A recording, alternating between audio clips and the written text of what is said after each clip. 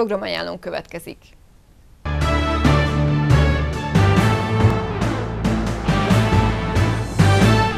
Újabb gasztronómiai fesztivál, a Szoboszlói Szüreti Mulatság lesz a Szent István Parkban, méghozzá október 20-ától 22-ig, finomabbnál finomabb ételekkel és borokkal, valamint fellépők sokasságával. Szombaton a Padrofon zenekar, vasárnap Oszvald Marika Cintányéros Cudarvilág című gálával, hétfőn pedig a The Scarlet Leaf-fel a nagy színpadon.